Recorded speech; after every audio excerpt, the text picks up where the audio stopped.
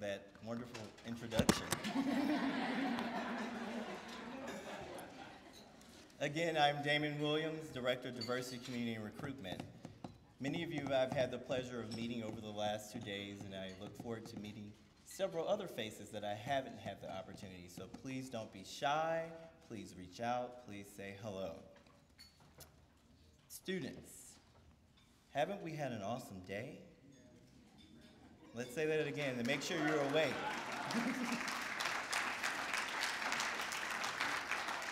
we started early this morning. Around, even though I saw some of you in the lobby around 2 a.m., I said, what's going on? But we started around 9 a.m. with remarks from our keynote speaker who talked about what to do with a PhD, other pathways, right? And he gave us some key nuggets. And some of those nuggets were to treat ourselves as a business. Do we remember that? And to question and know the why. Why is it that we do the research that we do? Why is it that we want to study what we want to study? Why is it that we are interested in our particular graduate programs? We followed up, and I'll piggyback off Dr. Morgan's comments with oral and poster presentations. You all did a great job. You know, we, we hear stories, we read articles about minorities in STEM. Look around the room. You're right here. So, you know, next time you hear some of those remarks, you say, I participated in a STEM symposium where I saw over 100 students participating in research and presenting research. And I myself presented research. So, you know, you're here to squash the myth. One of the most enjoying things that I enjoyed today was seeing you all network. Dean Johnson and myself last night said, network, network, network. And today at lunch, you had the opportunity of networking with program directors, faculty, and graduate students. Remember I said last night that I'm the spokesperson, I'm the champion, I'm the cheerleader for the Laney Graduate School. But the graduate students will give you the 411 and all the good stuff. But you have the opportunity, you have the opportunity tonight. So definitely take advantage of our graduate students that are in the room. So with all of that, we're just getting started. So before we move to our speaker, let's give yourself a round of applause.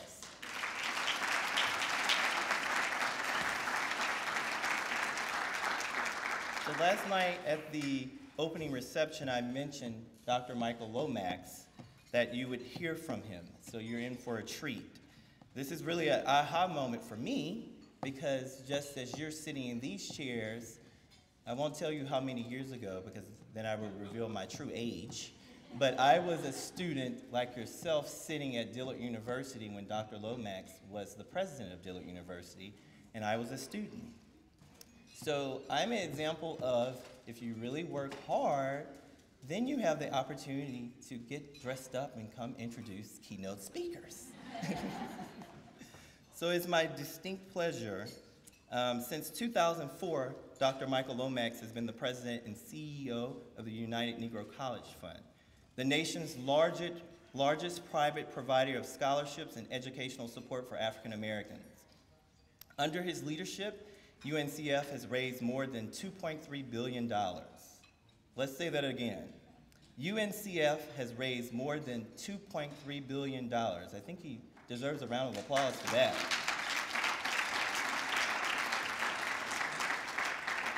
Helping more than 92,000 students earn college degrees and launch careers. I gave you the, the, the quick story last night that I was a UNCF recipient at UNCF institution Xavier University. So again, this means a lot to me.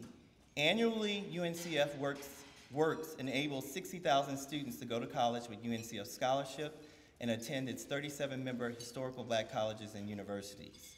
Before coming to UNCF, Lomax was president of the UNCF member institution Dillard University and a literature professor at Morehouse and Spelman Colleges. We have some students from those institutions today in the room.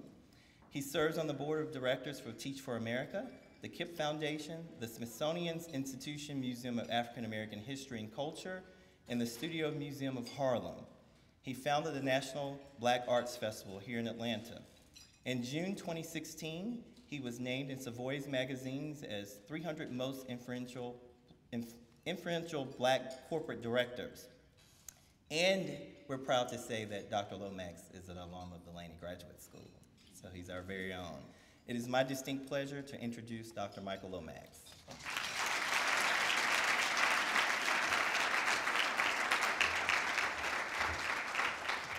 Thank you, Damon. Let's give Damon a big hand. He worked hard.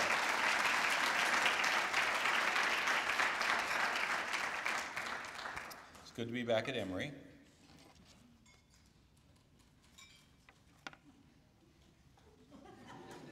And good to be with all of you. You all look very smart. I hope you're enjoying your dessert. I didn't get to eat all of mine. That's what happens when you're the speaker, you know? It's like, what am I? Worthy of a little piece of chocolate cake? Uh, I'm glad to be here. I've actually been at Emory uh, a lot recently. Uh, we had a session here for a group of 100 of our scholars, uh, one of whom is with us this evening. I'll introduce her uh, in, a, in, a, few moments. Um, you know, I'm, it's amazing what happens if you're going to graduate or undergraduate these days. You get treated so well. Put you up in a hotel, you know, and feed you chicken. You know, it's they they're concerned about whether you're vegan or you know vegetarian or lactose intolerant or you know whatever and uh, they're so nice to you. And uh, you think they really mean it? I just, it, actually, it, it's wonderful to see this program. And I, it makes me think about um, my early experiences both as an undergraduate and graduate. I'm sort of talking while you finish you know, serving, and, that's, and then I'll get into the actual speech. But um, and in 1964, when I started college, at the time your grandparents started college, uh, uh, I, I, went to Morehouse, which is not very far from here. Uh, let's, let's hear it from Morehouse. Spent a lot of time at Spelman. Let's hear it for Spelman. Uh, and uh, but Atlanta was a very different community, and so to come here this evening and to be a part of a program where Emory is really intentionally reaching out to communities that haven't been as represented on the campus is such a big change from the way it was back in 1964. 64 was the first year that an African American attended Emory as an undergraduate. The first year. And I knew that guy, Arthur Richardson. We called him Rat. Horrible nickname. But he lived here in, uh, in Atlanta, and his parents were both uh, high school math teachers. And you know, then when you chose people to be the first to integrate, you know, always very careful in selecting to get somebody who would uh, do well. And uh, unlike the students who were the first to go to the University of Georgia, Charlayne, Hunter, Gault, and Hamilton Holmes, Emory was a fairly uh, warm and embracing community, for, or at least a, a, tolerant community for Arthur, who came here. And I remember that as a student over at Morehouse, uh, we used to have gatherings at the uh, Canterbury House, which was the uh, off-campus facility of the uh, Episcopalian Church. I'm not Episcopalian, but it was an opportunity to meet with students from other campuses which meant they were opportunities for black and white students to get together. And so a couple of girls would come over from uh, Agnes Scott and some students from Emory and some students from uh, Georgia Tech, and we would all sit around and have meaningful conversations about uh, going to college and realized that, you know, we were all similar, uh, but they were very, very uptight experiences. And then um, I graduated from Morehouse and went on to Columbia University for my master's degree in 16th century English literature, so if anybody wants to know about that, uh, I've got a lot to say.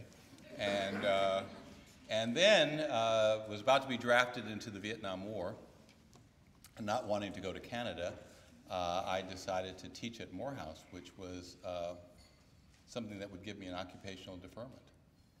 And uh, so I taught there until the war ended. And then in 1971, I had, had to make a big decision about whether I'd return to Columbia or go to Berkeley, where I could go study African American literature. I had abandoned 16th century English literature at that point, or Dartmouth, come to Emory.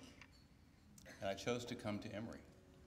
And uh, I will tell you, there were no occasions like this uh, for, for people going to uh, PhD programs at Emory. You were admitted, got a healthy fellowship, happily, uh, and then you were on your own.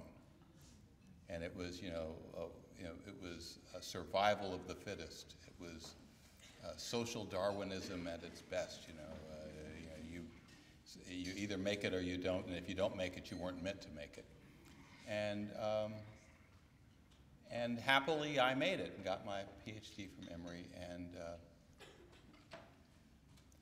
uh, but didn't pursue a teaching career. And I want to talk a little bit about the paths that I think you all have to consider. Um, so we're almost through with the servers, and let's give the servers a big hand because they've done a great job.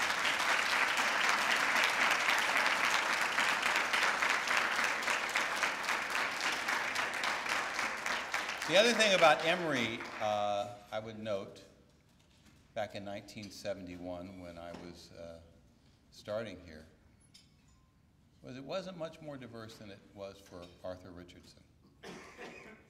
Very few African American students. Um, very few other students. I mean, it wasn't that you come on the Emory campus today and you see, I'm amazed. I mean, it's like a little United Nations. Uh, you see people from all over uh, the world wearing their national identities uh, very proudly. And Emory has really been on an incredible journey over the last half century, I think, to lean into and embrace uh, being a community of scholars and students who um, are not threatened, but do indeed embrace uh, people of difference and different backgrounds. That doesn't mean that uh, there aren't obstacles and there aren't barriers, but I think it says a lot that Emory is really reaching out and saying to all of you, uh, many of you who are, you know, um, uh, from backgrounds that don't often get an opportunity to go to graduate and professional school, uh, African American, Latino, uh, Asian, Native American, uh, women, a lot of women here, uh, although I might note women are increasingly uh, pursuing advanced degrees, and women of color particularly very aggressively pursuing advanced degrees because, because women, I think, recognize in ways, and certainly women of color recognize because they have multiple obstacles to overcome, that um, demonstrating intellectual capability uh, is an opportunity to level that playing field. Maybe not completely, uh, but I think women get it. I wish more guys got it. I wish more black men, more Latino men got it, because it's so important to be pursuing advanced education in the 21st century. So, you know, it's the usual assignment. I'm getting ready to start reading my speech now, okay? I'm going to try to look up. It's hard to do this, but I had, there are some things I really wanted to say to you this evening about why I think it's so important for you to be here that I did what I don't normally do, and that is put on paper my remarks. So I hope you'll bear with me because I don't want to to miss saying some of the things that I think it's important to say to a group of very bright, very hardworking young scholars who are at a um, fork in the road, a point where you got to make a decision. You know, you got to make some choices, and um, And I think most of you are being something that I don't think enough young people are. That is, you're being very intentional about this. You're being strategic. You're weighing. Now, that doesn't mean you won't make a mistake or, uh, you know, that you'll weigh them all right, but you're doing something, you're taking control of your destiny to the extent that you can. Um, so it's usual assignment for a keynote speaker like me, speaking to an audience of future scholars like you, to try to inspire you as you prepare to embark on the next leg of your journey through life. As Dr. Seuss would say, oh, places you'll go. But here today, our roles are reversed. I am really inspired by you, by the time at which you're coming of educational and professional age, by the challenges the world has laid out before you, and by the opportunities for you to achieve, to serve, and to make a difference in the world. The number and breadth of opportunities open to you is only multiplied by the fact that you are majoring in STEM disciplines, the areas of knowledge that are fueling the 21st century information age and innovation-based economy. And the fact that you are STEM students, many of whom are of color, in a country rapidly trending majority minority heightens the value that you will bring to your profession or your employer or to your own business enterprise and heightens the service you can render to a multiracial, multi-ethnic world. Now, I want to just tell you in advance because talking about money is often considered vulgar in academic settings, that I'm going to emphasize among all your choices the choice of becoming rich. And I know most of you never would like to do that. and, but I want to particularly underscore that here because wealth in the 21st century is increasingly being produced by intellect, by knowledge, by the kinds of work that you're learning to do. Um, my seatmate at dinner said, Well, you must spend a lot of time having dinners with very rich people. I do. It's hard to raise $2 billion from people who aren't very rich. Uh, and many of those people I meet with are people from um, inherit, who, who have inherited wealth. Um, but the vast majority of the people that I deal with are people who have made their wealth themselves. And increasingly, they are people whose wealth came from bringing to life their own ideas. Bill Gates.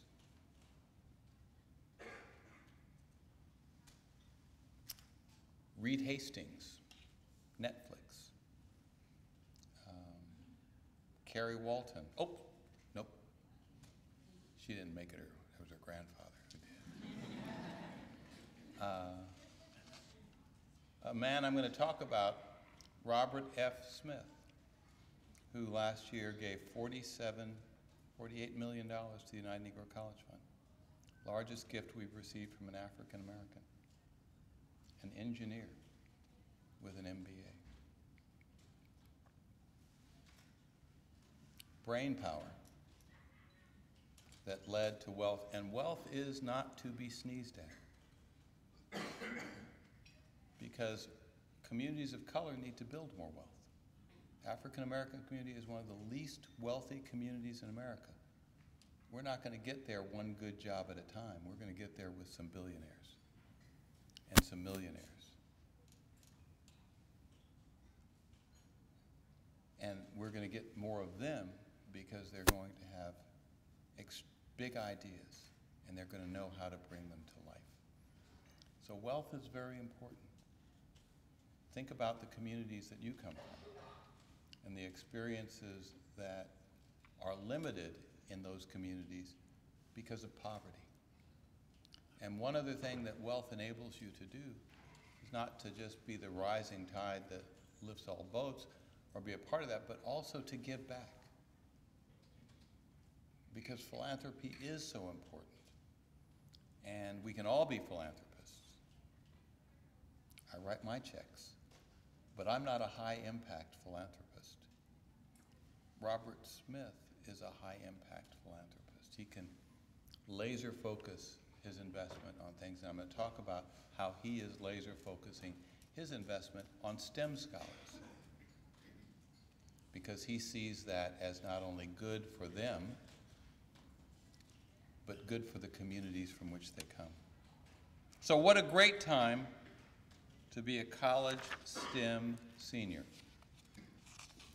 But the very breadth and depth of the opportunities you face bring a range of choices you will need to make. And as I said earlier, to live is to make choices. And this kind of choice, the choice of what direction your education ought to take from here, the kind of profession toward which you want to aim as you launch your career, will be one of your most important decisions.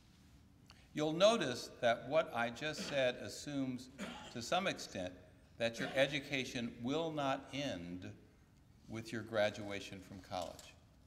And that assumption is intentional.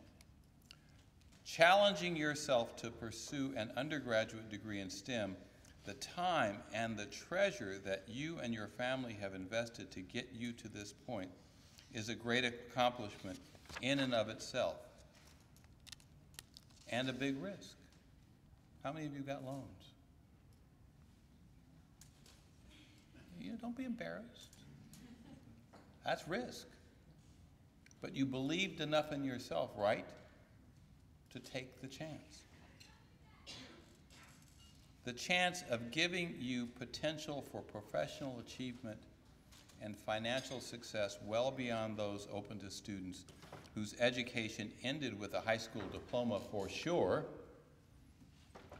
or even a non STEM degree. One of your senior colleagues back at your home institution who majored in English like me, uh, which does not have the same value in the marketplace as a STEM bachelor's degree. But in the time in which we live, success of almost any form requires more and more specialized knowledge and understanding than a bachelor's degree alone typically imparts. So, an increasing number of jobs in the fastest growing and best paying career paths now require, or at least prefer, not only a bachelor's degree, but an advanced credential, an MD, an MBA, a doctoral degree, or some combination thereof, which gives you a special insight and set of skills to pursue your dream. And so you have another choice. If you opt to continue your education, as I hope you will, toward what destination should your graduate education take you? You know, for generations in minority communities, a scientific bent and a degree in science have often, but not always as I suggest, will suggest in a moment, led to a career in either medicine, dentistry, pharmacy, or teaching. And if you were a, a woman of color, or just a woman with a scientific bent, those were, I mean, pharmacy, nursing, you know. That's where you would take that capability. And no members of our community were or are still today more important or more respected than those of a doctor, a dentist, a teacher, a pharmacist, a nurse. They're highly regarded professions. But as the recipient of a PhD from Emory, my mission today is to urge you to consider the exciting opportunities that a graduate degree from Emory's Laney School, graduate school, opens up to you.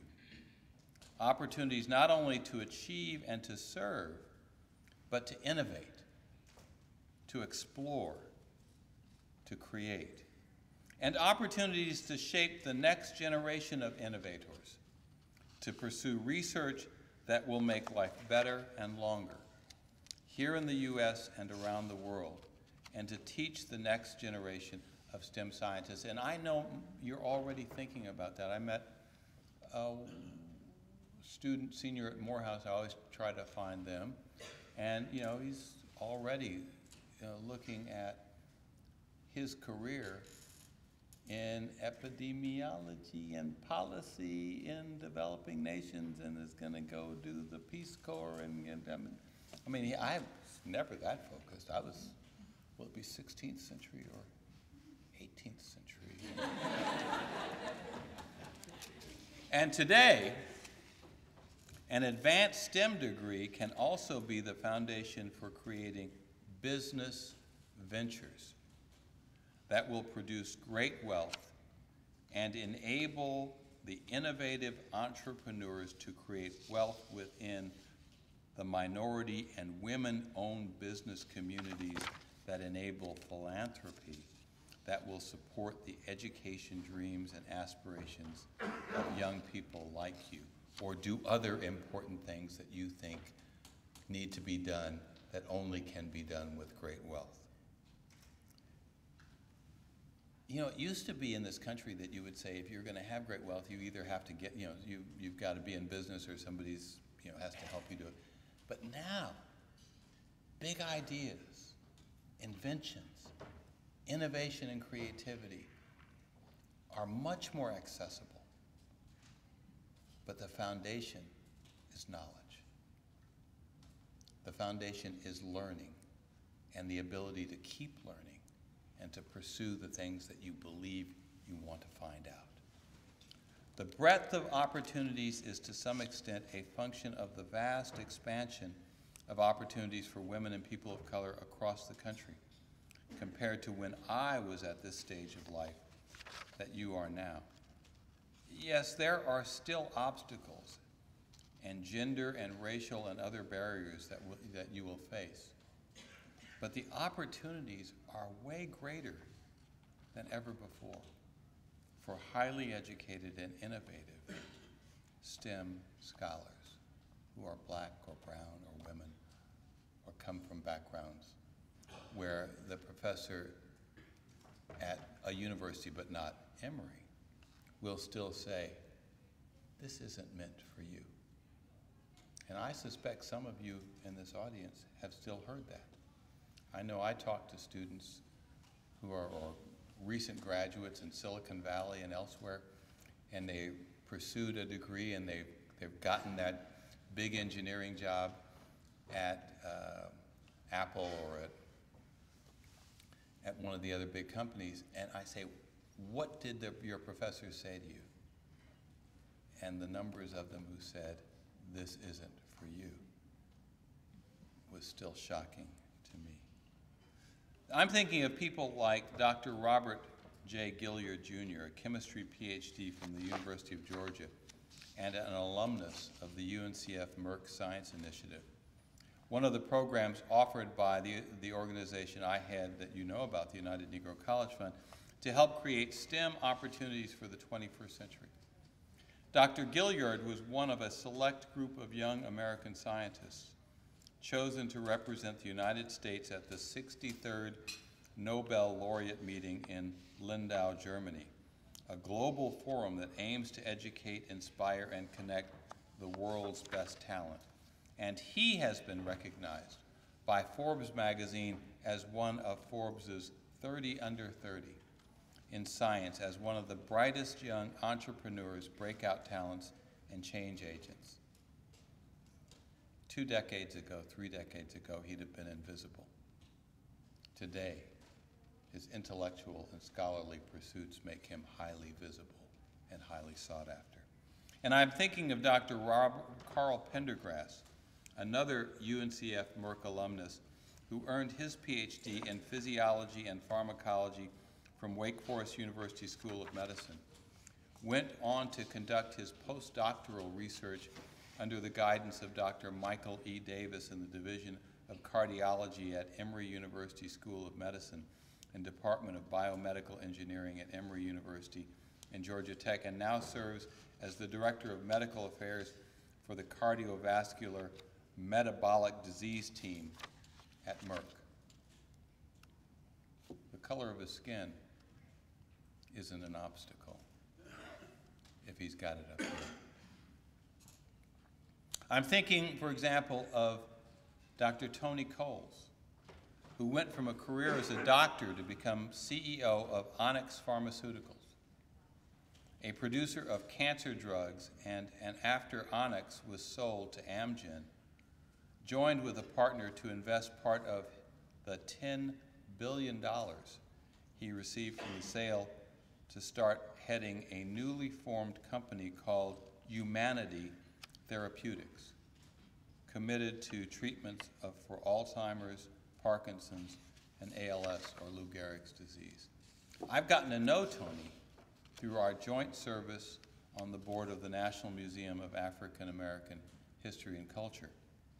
And I am proud to see him using part of his now great wealth to help build this first Smithsonian Museum dedicated to African American history and culture that will be an inspiration to everyone to see how people overcome obstacles to achieve big dreams. In 20 years, for example, the UNCF Merck Science Initiative has helped more than 750 African American undergraduate, graduate, and postdoctoral students, including Dr. Brown, study for careers as researchers and scholars in the biomedical sciences and engineering. And you want to talk about a smart group of folks when you get those together and you're sitting around there with those MD PhDs. They're a lot older because it just takes, I guess, a lot longer. Um, but how impressive because they're so counter the stereotype of who they should be and what they should be doing. Some of these Merck scholars are medical doctors as well, but the vast majority are research scientists with PhDs. Why do so many first generation STEM students of color choose doc medicine? Well, you, somebody said? I said that's all they see. That's all they see. And most often, that's all their parents and family members who have sacrificed so much for them to get to that stage see. And they think it's a big C.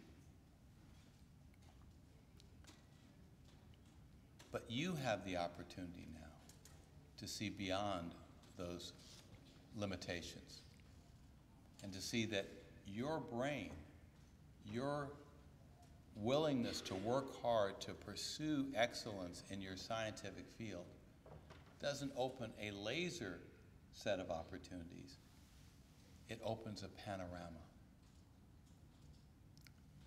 And the more you know, the more you know the most about something that nobody else knows something about. In some ways, the bigger your opportunities. And just last year, we launched the Fund 2 Foundation UNCF STEM Scholars Program, which I've mentioned, a $48 million initiative that will help 1,000 highly motivated and academically talented African American high school students who are committed to pursuing STEM degrees in college. And Fund 2 Foundation is the brainchild of African American entrepreneur and now philanthropist Robert F. Smith, who, by the way, holds an engineering degree from Cornell and an MBA from Columbia. His wealth is the result of deep STEM knowledge and entrepreneurial mindset and a steely personality, which have enabled him to pursue business enterprises uh, with a passion and an insight that no one else has. Um, and he is today now making a name for himself not only as a manager of large funds, but as someone who gives back. As the chairman of the board of Carnegie Hall, as the largest single donor to uh, one of the largest donors to the new museum, and the largest African American donor in the history of UNCF to our work. We held our first STEM Scholars Orientation right here, right here in this room at Emory in July, where the students converged to map out academic and career goals, and they heard from African American experts within the STEM fields.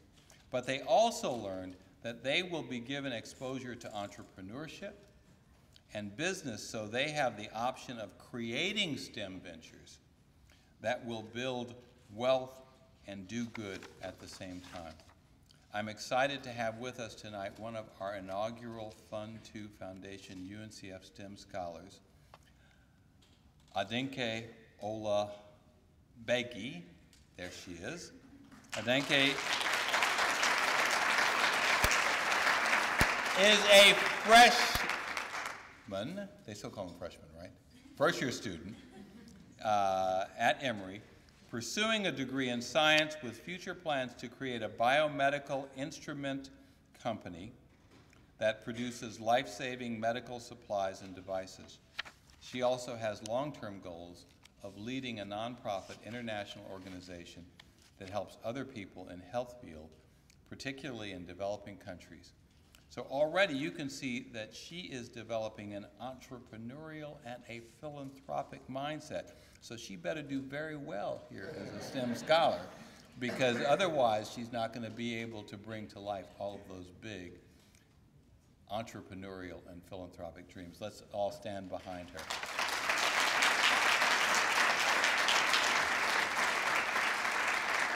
You know, today's opportunities are also a function of the scientific and social moment in which we find ourselves. Scientific discovery has always been important in the world's, to the world's well-being, but never before have the challenges we face loomed so large among our collective hopes and fears. Never before have these challenges appeared so often, not only in the news, on the front pages and in the headlines, and never have so many across the country, around the world, and in so many families needed the better lives that science can bring. Never have so many needed better treatments, even cures for Alzheimer's or Parkinson's or for a range of cancers. Never have we so needed to harden the evidence for climate change. Just think about those of you who will be pursuing, you know, advanced knowledge in the areas of climate change. I was listening to a program this afternoon on the radio about how climate change is going to have more palpable impact on our lives than the internet even had.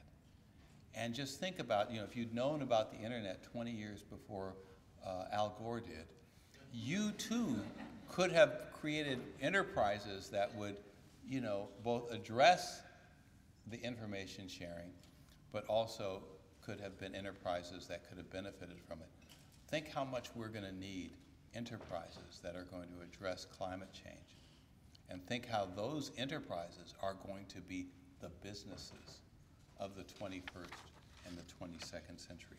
All of these grand challenges facing humanity require great thinkers, innovators, and entrepreneurs, scholars who stretch the boundaries of human knowledge and imagination to discover new truths about how our bodies work and how the universe is constructed. And precisely because science now looms so large in all our lives, Never have we needed the excellent teachers of science at every level, professors at the university who will educate the teachers who will do for millions more people, and especially for millions more young women around the world and people of color. Introduce them to science and cultivate their interest and their knowledge the way your teachers introduced you to science and cultivated your interest. And because we know that students of color are much more likely to be drawn to the study of science when they are taught by faculty of color, a group that is in short supply at many non-HBCUs, never have we so badly needed scholars of color to teach and to mentor. There's a great opportunity here at Emory, which has made great strides, and at other institutions to increase the number of faculty of color and women in the STEM disciplines. You have that opportunity. All of which is a way of saying that never before have we needed to attract scientific discovery and to the education of the next generation of scientists, our smartest, most ambitious, and most innovative young minds. Never before, in other words, have we so urgently needed people like you. I am urging you to follow this path of education into graduate school, not only because I think you will find it more rewarding than other career paths, although I think you will find it more rewarding, but also because in doing so, you will be paying back the women, scientific pioneers, and scientific pioneers of color on whose shoulders all of you stand.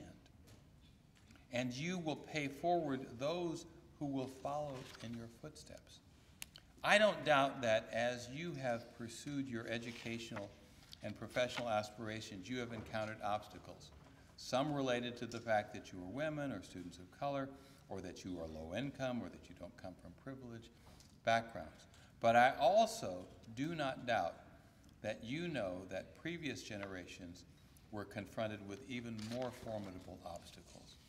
There was a time, I'm sure you know, when enslaved African Americans were forbidden to learn to read and write, and a time when the institutions we now know as historically black colleges and universities were formed to give them the education that they needed, a century and a half ago. Just this month, the New York Times told the story of African American women, now in their 70s, 80s, and even 90s, who, as the Times put it, and I quote, worked at NASA as mathematicians, often under Jim Crow laws, calculating crucial trajectories for rockets while being segregated from their white counterparts. How many of you knew in the 50s and 40s there were black women back there making those calculations? How many of you knew that during World War II there were women at Bletchley Park helping to create the first, what do they call them, Enigma machines, which were the precursors from, uh, for uh, computers. The role of women, white and women of color, has just been, well, erased from so much of the history we know. And it's not only unfair to them, it takes away the role models that would be inspiring generations of women today.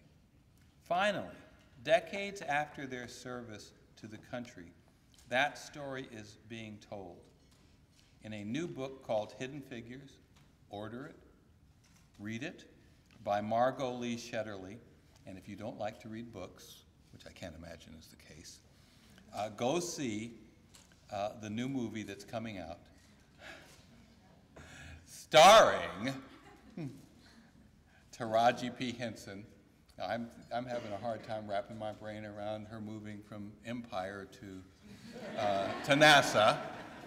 Uh, Octavia Spencer, and this is even harder, Janelle Monáe, as these three women uh, mathematicians. But they look good, and they must have done the work. So good of Ms. Shetterly and of the film's producers who include Pharrell Williams, who's written the music, so it must be pretty good, uh, for telling the story. But even more good on Katherine Johnson and Dorothy Vaughan and Mary Jackson, the black women mathematicians who wrote this long overlooked chapter in our history and who now will be names that we will know and will celebrate. I wonder who among you will write your generation's chapter. So, we have come a long way, but we are constantly reminded that our journey is far from over.